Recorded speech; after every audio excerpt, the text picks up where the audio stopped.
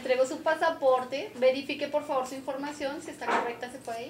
Si usted vive en el país pero fuera de Bogotá y necesita o quiere tramitar su pasaporte, puede acercarse a la sede de la gobernación de su departamento donde un funcionario diligenciará un formulario virtual con su información.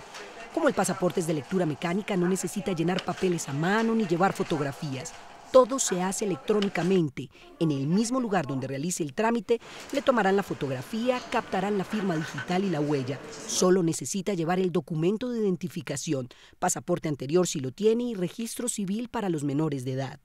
Una vez suministrada la información y tomada la fotografía, le dan un recibo para que pague el valor equivalente a la libreta en el Banco Sudameris. Los impuestos departamentales se pagan en los sitios autorizados por las gobernaciones.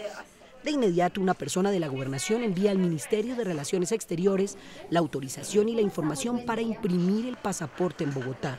Culminada la impresión, el pasaporte es remitido por la Cancillería a la gobernación respectiva en un lapso que no supera las 48 horas. Es decir, una vez solicitado el pasaporte fuera de Bogotá, la Cancillería se responsabiliza de que la libreta esté lista en la gobernación en 48 horas. ¿Por qué hay que tener pasaporte de lectura mecánica?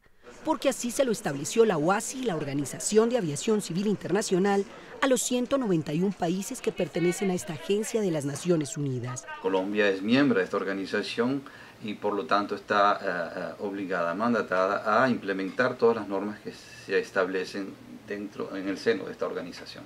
¿Qué pasa si no tramito el pasaporte de lectura mecánica? Podría ser que algún Estado no permita la entrada de un ciudadano que no tenga un pasaporte de lectura mecánica de acuerdo a la obligación establecida por la organización.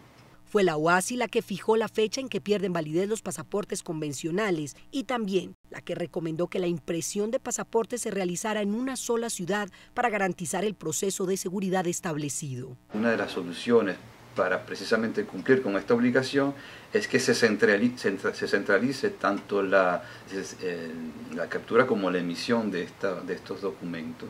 ¿Cuándo vence el plazo para tramitar el pasaporte?